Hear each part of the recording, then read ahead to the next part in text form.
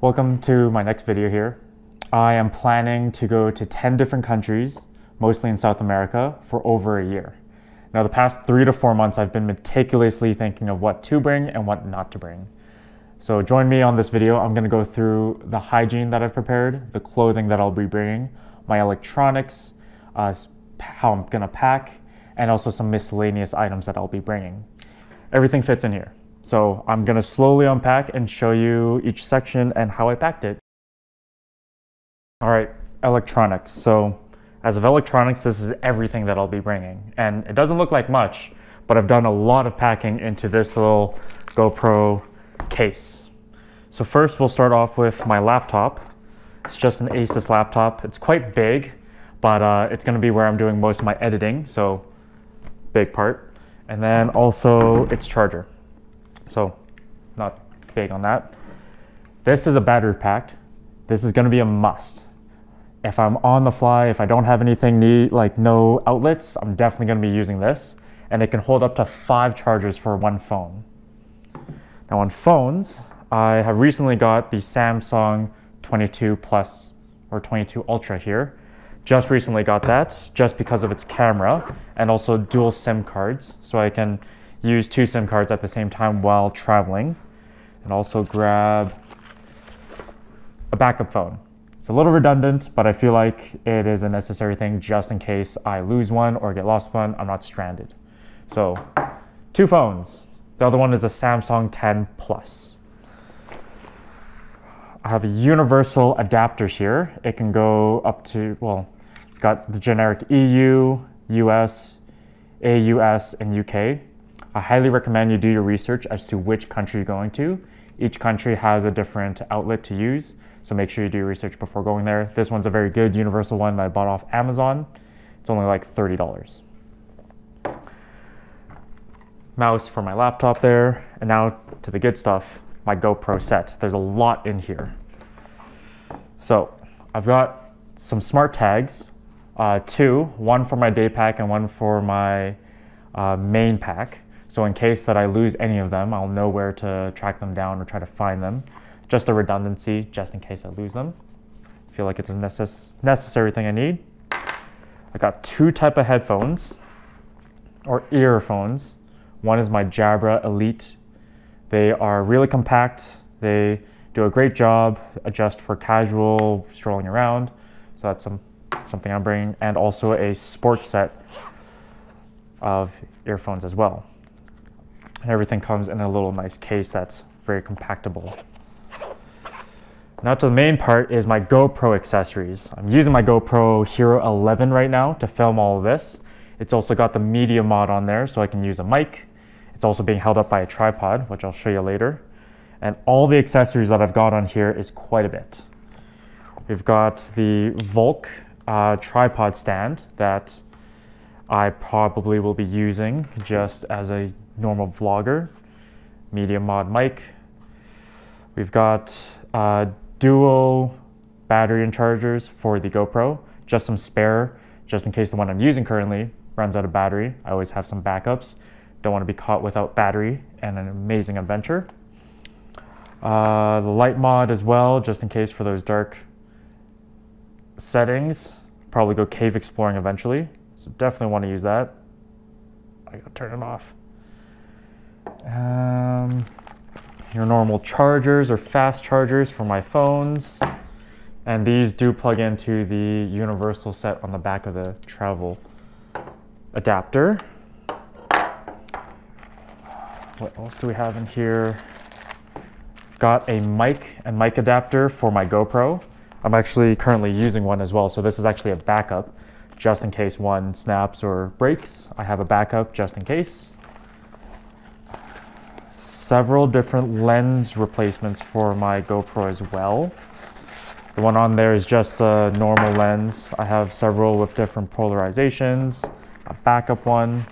So there's several lenses there. Oh, and also for data storage, I've got four micro USB cards. Uh, they're all 256 gigabytes. So very small, compact. Don't really need to worry about how many I'm bringing. It's about a terabyte there. And other than that, just other accessories. They've got my mic extender, duo, redundancies, backups, and also several charge cables for USB Type-C that mostly charge pretty much everything I've got.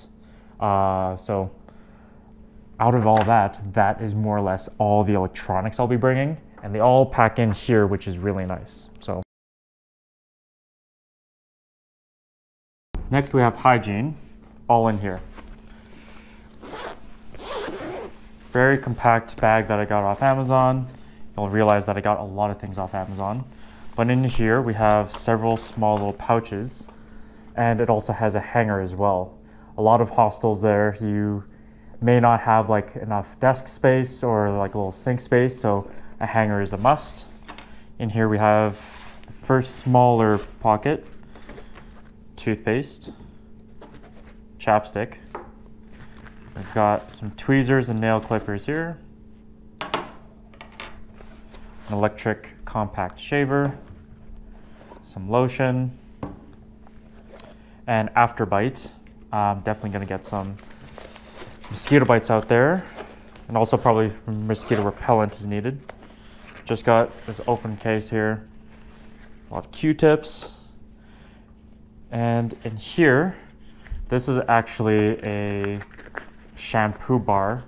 So get that shampoo bar, and I bought this specifically. It aerates your shampoo out and acts as like a freshener as well and it doesn't let any uh, soapy water come out of it as well. So waterproof shampoo bar baggy. That also doubles as a little freshener for your bag as well. So again, small, compact, something that I would definitely recommend. Shaver, shaver replacements, floss, a comb, portable toothbrush that also has more toothpaste in the bottom. Oh, there. Some deodorant as well. And I was also able to fit in a first aid kit in here as well. Definitely want that on hand. Just your regular band-aids, antiseptics, all in this small bag. Yeah, so that is my hygiene set. The clothing. I'm actually really surprised how compact I've been able to make all these, but I will slowly unpack and show you what I have. This here is a duvet, a very compactable travel duvet. So highly would recommend getting this. It's just a little compactable one that folds out.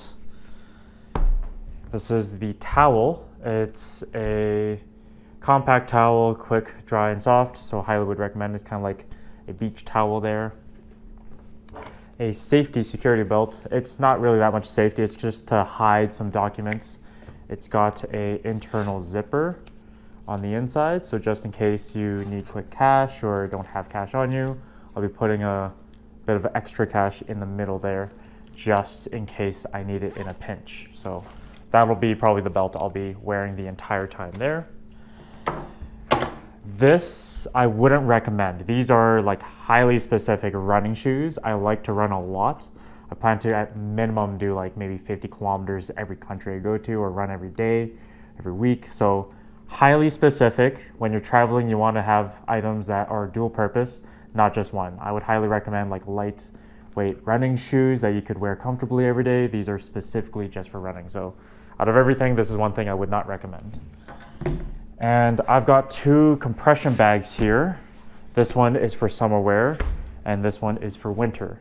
And I'll show you what is in all of this. So we'll start with the summer one here. So these compression bags are super useful because they take all that space of what you might use in compression cubes or anything and brings it even smaller. So I'm gonna quickly open it up here.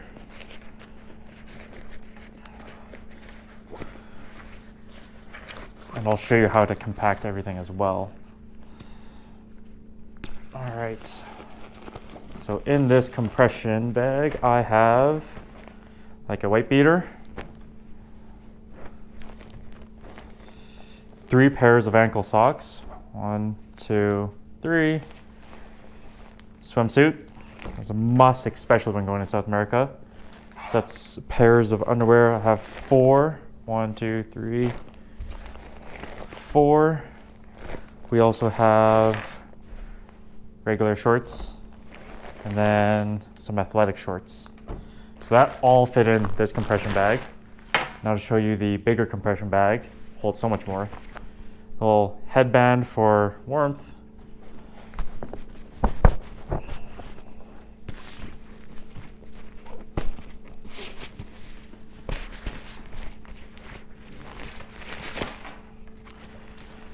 All right. Come on. Okay. So these are hiking pants. They're also waterproof. We have a cotton t-shirt, athletic t-shirt, oh, muscle shirt, one, two, three sets of long uh, socks, a sweater, a duffel or downy winter jacket. Big must as well. Very compactable and keeps you very warm.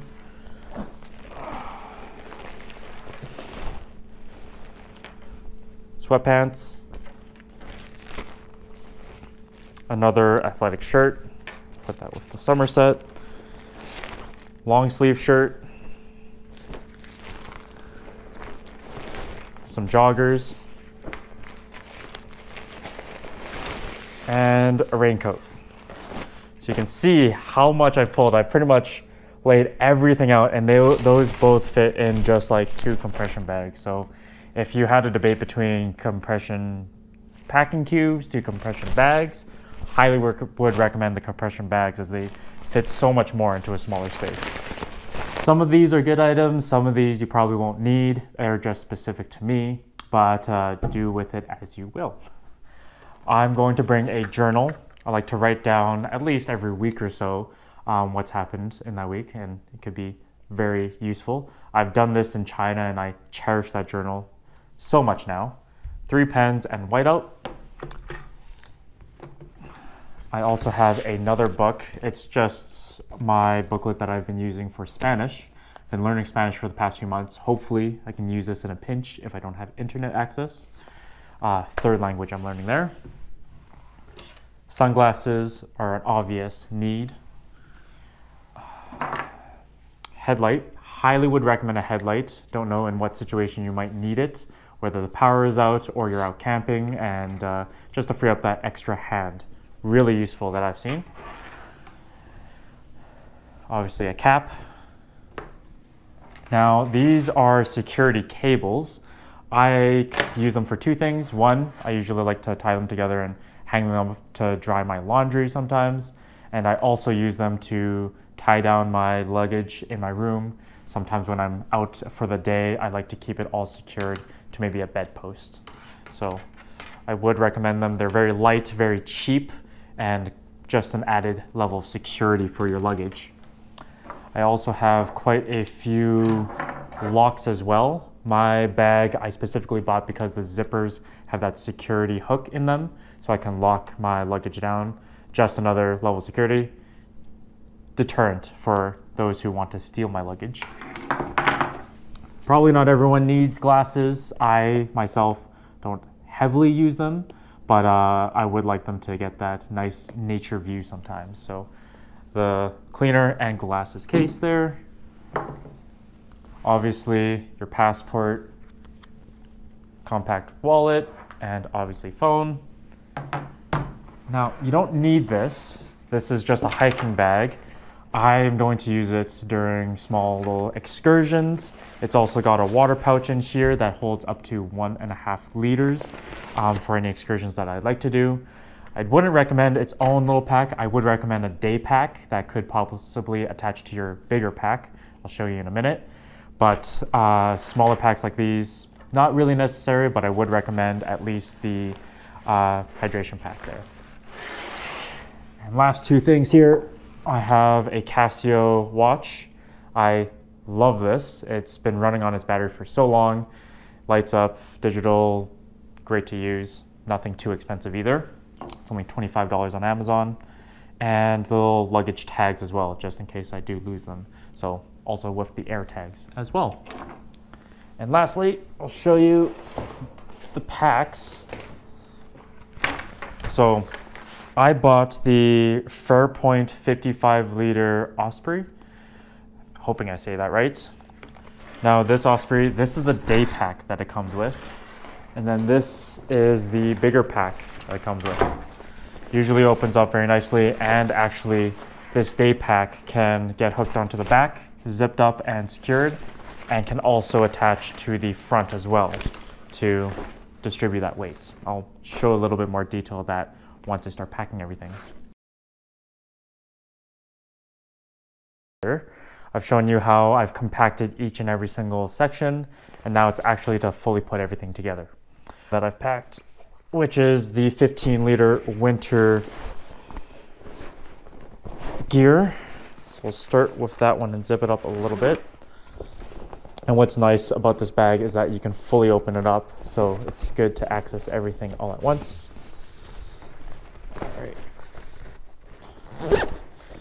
And then next we'll go with the five liter compression bag for summer wear. Hygiene bag. And now the shoes are usually the biggest problem. I always like to stuff a few things in there, like I have my towel that fit in very nicely into one of them, and sometimes I try to get my dowels as well in there. Sometimes I also put the belt in there as well. So just pull this all the way up, slide that in there, and might as well put the sunnies in there as well.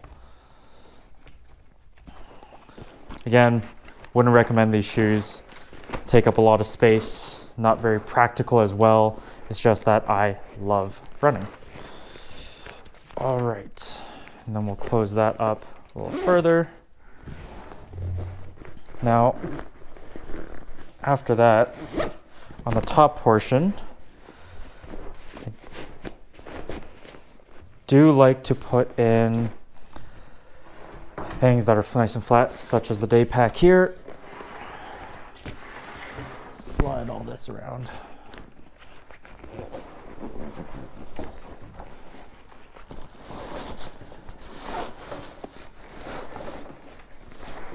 We also like to put the duvet on top.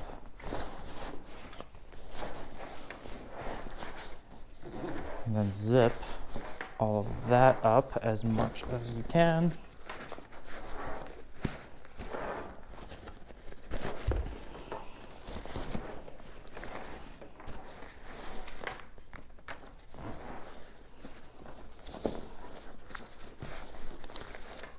Ah, this is horrid for the compression bag on the side.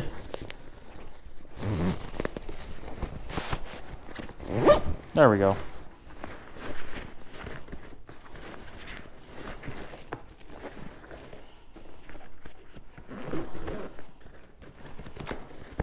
So all that fits into the main bag. There. And I'll show you up close as to the zippers with the locks you have the little zippers and there's little o-rings that you can lock up the bags. Put a lock on this one here.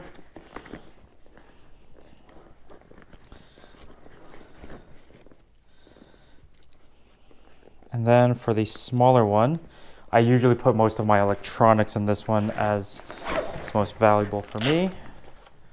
So we'll start with my laptop here.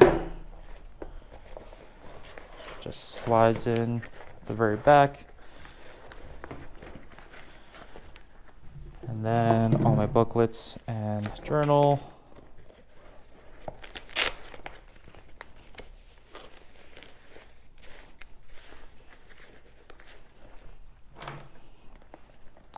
Several pens I'll be using and whiteouts